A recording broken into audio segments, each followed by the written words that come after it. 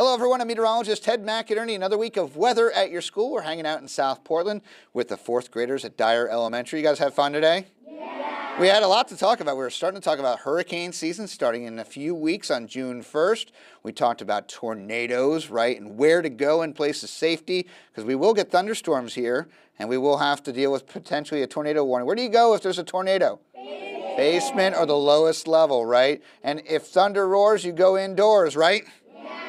All right, weather at your school will be in Dayton tomorrow morning. Say bye, everybody.